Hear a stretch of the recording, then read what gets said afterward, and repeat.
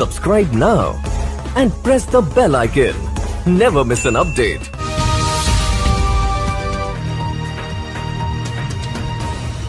और आज हम पहुँचे हैं टीपी नगर थाने में। हमारे साथ कुछ गरीब परिवार मौजूद हैं। जी क्या है मामला? थोड़ा सा बताइए दो साल से हम रह रहे हैं। अच्छा। दो साल से हम किराया भी दे देते जी। हैं किराया देते देते पैसे इसके पास सर पड़े। हैं। देते थे फिर लॉकडाउन लग गया ये आठ महीने का किराया है? ये घर पर भी जाके बुलाती बबता इधर आओ। मेरा काम करो मेरे झाड़ू पोछा लगाओ। मेरी नौकरी करो। पूरा दिन वहाँ निकालते था वो। मेरे पास ही नहीं रहता ही वो अकेली औरत रहती है। मैं बच्चे लेके बैठी रहती हूँ। तो कहती हूँ मैं एक बार घर पर नहीं आती क्यों घर पर क्यों नहीं आते? तेरे काम करवा रही काम करवा रही है वो करा रही है। फिर हम सब काम करते थे मेरी वो नहीं करा हमने कई चीकर हाथ जोड़ते थे इसके यानी कि इनसे घर का काम करवाते हैं। हाँ। जी। वो हाथ जुड़वाते हाथ जोड़ते भी रहने दो। बच्चे लेके कहाँ जाओगी लोग में? उसने ऐसे करा नहीं तू निकल रंडी हराम जाती लड़की एक महीने की छापा हुआ। वहाँ मेरे डाल बना रहा था ये लड़का हमारा आदमी। और इसने ये ताला मारा बैठ गया ना उसका बैग।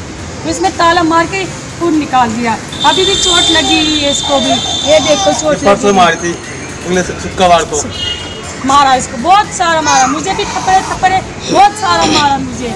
अब कह रही है कि हमारी टीन तोड़ रही है टीन में बिना हज़ार रुपए की टीन हमने वो लगवाई पन्नियाँ हमने सब लगाया ठेला भी हमने किराए पर लिया हुआ। ये ऐसे ऐसे कह रही किराया ठेला हमारा है। दो हज़ार की सब्ज़ी खा गई खा गई।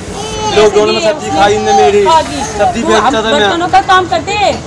फेरी का काम करते जी। हैं अभी कपड़ों नहीं हो रही हमारी। तो हम फ़ोन लाते कपड़े से। सामान लाते कपड़े लाते सब लाते। और फ़ोन भी हाथ में से छीन लिया हमारा। चालू चालू घर पर रखा था वो भी ले लिया। फिर भी हमने बुरा नहीं माना एक ठेला तो मेरा पहले के लेके पहले के बैठी बहुत है। तो बहुत कमरे में रखा हुआ है ठेला वो हाँ ठेला ये महीने का वो भी ठेला पड़ा हुआ है। हमारा। वो भी ले लिया उसके छीन लिया हमारा ठेला भी। तो हम क्या करें कहाँ जाए? हम गरीब भी खाने के पैसे तलक नहीं है बच्चे के लिए। अब पैसे कहाँ से लाए बताओ?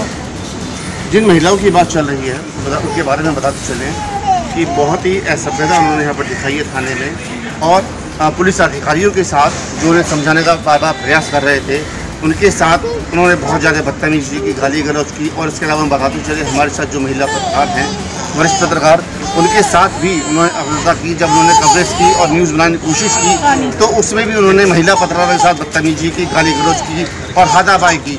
और उन्हें गिराने तक की कोशिश की गई। इसके अलावा हम बताते चले कि एस साहब ने खुद मामले को सुलझाने के लिए एक अलग ही यहाँ पर नज़ारा पेश किया। उन्होंने खुद अपनी जेब से पैसे निकाले और ये कहा कि आपका जितना भी इनके ऊपर बकाया निकलता है वो मैं इस गरीब आदमी को दे रहा हूँ और आप इससे अभी की अभी ले लीजिए और इस मामले को आप यहीं निपटा दीजिए। लेकिन उसके बावजूद वो नहीं मानी और अपनी जिद पर अड़ी रही और यहीं पर सभी के साथ सर यहाँ सभी लोग जितने भी यहाँ पर आए हुए थे सभी के साथ यहाँ पर बदतमीजी करती रही।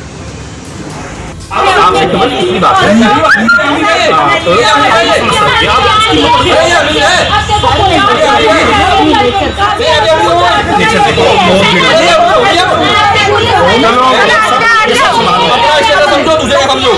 है समझिए। है? एजुकेटेड हो ऐसे बात नहीं एजुकेटेड की एजुकेटेड आदमी सालिम से बात करता है बैठ बात करता है जो होता है करता है कौन आप आप हो हो आप आप दूसरे का काम कर रहे हैं मैंने ये रोका मैं आप अपना काम कर रही हूँ दूसरे का मत करिए आपके सामने ही आपकी मम्मी को रोक आप दूसरे काम है हैं आप अपना निपटाइए आप अपना निपटाइए कोरोना की वजह से क्या? हम जा रहे हैं। दूसरे लोग क्या कर रहे भाई? आप अपने अपने जी मैडम। कितना हो गया? अमाउंट बताओ। कितना बताओ? एक मेरे घर में जाके जोड़ी कितना हो गया? क्या पैसे? क्यों बोल बोल है देगा वो अभी देगा। वो देगा। मैं क्या कह रही हूँ अच्छा मैडम एक मिनट अभी साफ़ छुट्टी गए थे एक मिनट एक मिनट एक मिनट सर एक नहीं नहीं, किसानों की पूरा और इससे ज़्यादा क्या होता है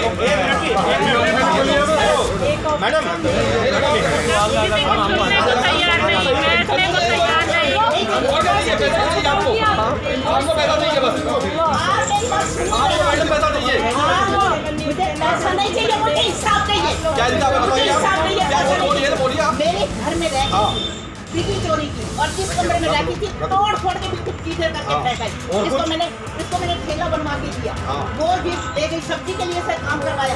आप ऐसे ऐसे भी वो सब जो है उनसे पूछ लो। मैंने लॉकडाउन में इनकी हेल्प की। आपने बिजली की रिपोर्ट लिखवाई इसके खिलाफ?